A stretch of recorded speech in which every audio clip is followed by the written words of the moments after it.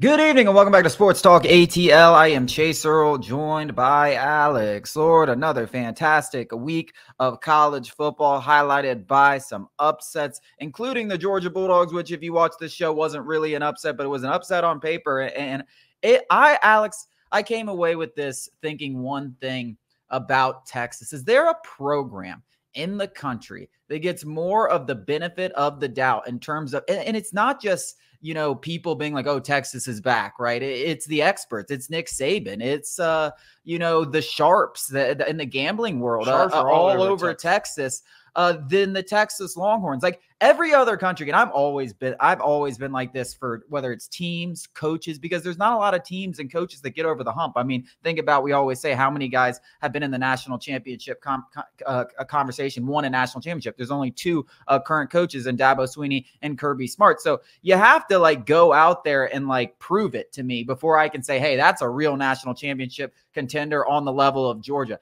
Texas didn't do anything this year that proved it, you know. And then last year they had a good season, but they were upset by Washington, get got killed by Michigan. It was a good year, don't get me wrong, but they weren't on the level of Georgia. They weren't on the level of yeah. Michigan. It's a Big Twelve like route, also. Yeah, like you know, uh, anyone get the benefit of the doubt more than Texas? Like, why were people so high on Texas coming into the game when the only proof that we had was Michigan and Oklahoma, who once again absolutely boot the bed. Oklahoma gets killed by USC, absolutely yeah. slaughtered, and Michigan gets slaughtered by Illinois. So we always had a hunch those teams sucked, and it wasn't like Texas beat them fifty to zero. I just does anyone get the benefit of the doubt like the Texas Longhorns from the from the public? I won't stand for the Mack Brown slander. Three coaches with national. He's hanging on by a thread. It's Texas is still living on those Mack Brown days. Yeah. Um, quite frankly, and yeah, well, I think anybody who had a brain I mean, I don't know. How, I, I think that you can look at Texas in a vacuum coming into this Georgia game and, and, and, say, yeah, that's a damn good team. They've done nothing but beat the hell out of opponents,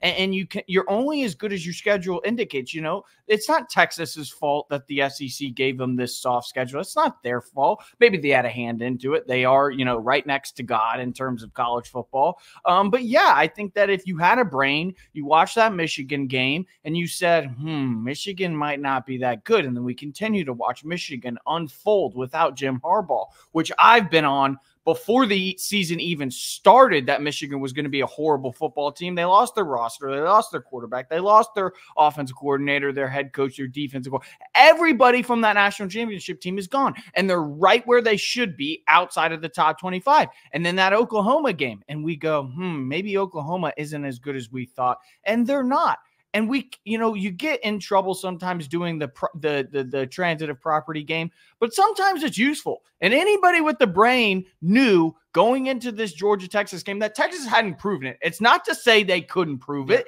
against this Georgia team because Georgia hadn't looked great coming up into these these games. They lost to Bama. They didn't look strong after those the the the, the games that followed but to say that Texas was just going to go in and, and, roll Georgia because of what they had done against nobodies, Oklahoma's a new team in the SEC. The only real SEC team they played was what Miss, Mississippi State, which is the worst team in the SEC. Yeah, I mean, they hang on, they're showing some life. We're going to talk about them later in the week. I, I mean, Mississippi State might be a cover uh, cover machine going down the stretch. I do believe that their offense is clicking, but also like Nothing you've seen in 2024 should have told you that Texas was going to roll this weekend. In my and you're, you're right, they got the benefit of the doubt because maybe a lot of people want Texas to be yeah. good. Well, I think I think that's definitely what it is. But that's when it shocks me when it's a Nick Saban, when it's a, a gambling sharp that makes a living gambling. Uh, these guys all all loading up on Texas, and I'm like, have we not seen this song and dance before with the Georgia Bulldogs? Like, yeah. you give them an edge,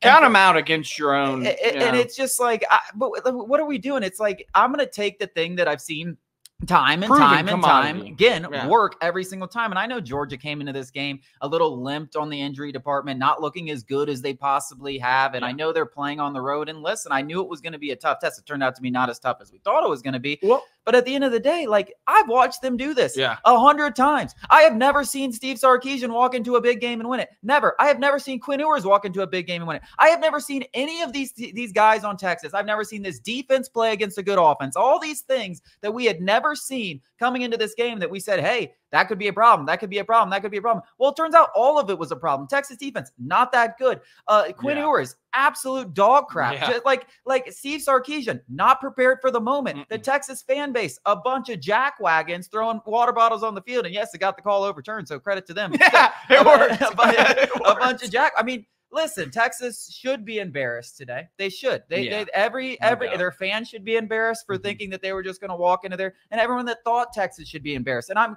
I quite literally, you know, we're on this show. I know a lot of you guys watching are Georgia fans. I haven't rooted for Georgia in a long time. I was I walked into Saturday and I said I was I was hooting. I was barking. I was barking. I was, I was barking because I, it just pissed me off that Texas, after beating Oklahoma, yeah. who was not in the SEC, they're not a real SEC team, uh, and uh, and they just proved this past week and that they are Mississippi State, they were like owned the SEC yeah. now. Like, what in the hell were you guys thinking? Well, newsflash, you guys aren't that good. Yeah, Georgia is your you daddy, you, and that's not a and that's not a game. What, by the way, that they're going to come back later in the year and win. I'm just letting you know. Like they're they're not coming back. At, beat a good team twice. That whole thing. They're not coming back and beating Georgia. I can tell you that. That was a mismatch from start to finish. The offensive line that was so good against Michigan, Oklahoma, totally, totally out athleted, out man. That was physically dominant in the trenches, and they're not going to get that game at home again. Well, to build some of that, you know,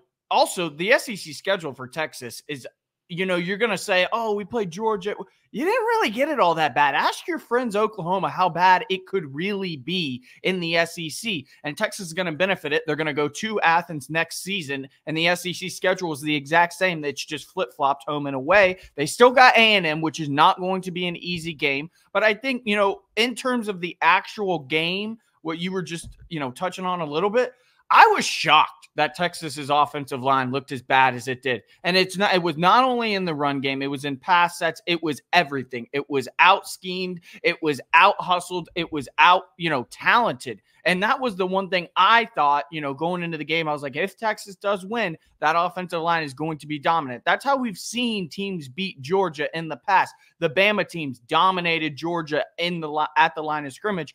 Georgia came in and put on a vintage Kirby Smart performance. Shout out Glenn Schumann. Shout out that Georgia defense stepping up when it mattered most. And I think, you know, if you're looking at this Texas offense, you know, I, I was, I was, I've been down on Quinn Ewers all season long.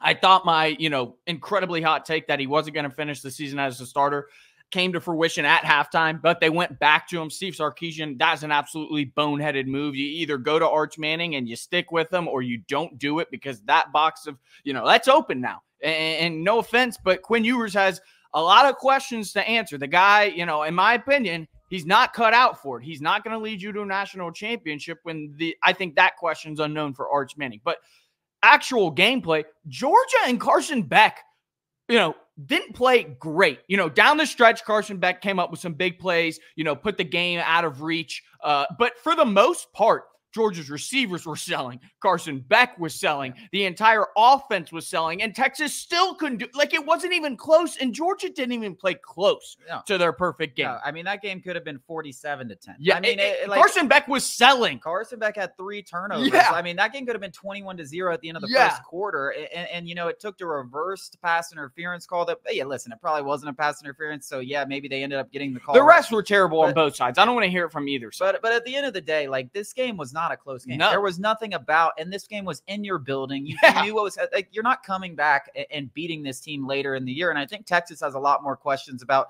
the rest of their schedule. And yes, it is easy, but listen, you got Vandy next week. That, that's going to be a much tougher game than I think people realize. You got Texas A&M looming on your schedule later in the year, and I believe they have Florida. And listen, Florida's playing a lot better football. They just beat the hell out of Kentucky. Wouldn't be surprised if Florida gave Texas a game because I think Texas. It, I don't know if I like Georgia, I, I think is the best team in the country. I will say that. I don't think Texas is close to a top five team. I mean, that's what I watched. On, that's what I watched on Saturday. I mean, you guys did they completely laid an egg at home in yeah. their own building against a team in Georgia that we were talking about was like we didn't really know who they were. And I don't think this is Georgia is a world beater like they have been in the past. This was the most vulnerable team, your Georgia team, you're probably going to get as a member of the SEC. And you go out there and get railroaded. It wasn't even close. They embarrassed you. They embarrassed, they enforced your will. The look on Arch Manning and Quinn Ewers' face at halftime was, was awesome. everything. That was the entire state of Texas. That was everybody that was sitting here telling me I was an idiot because I was picking Georgia. That, that was everybody like, wow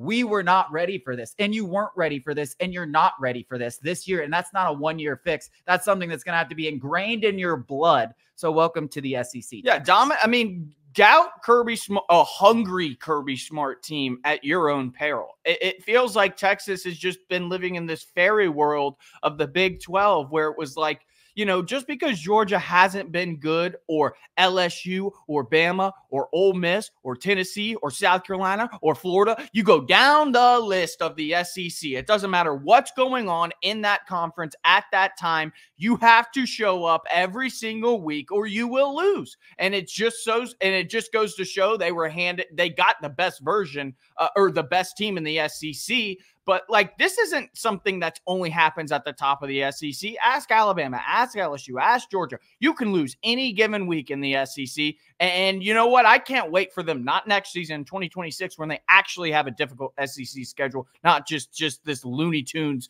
SEC schedule this year.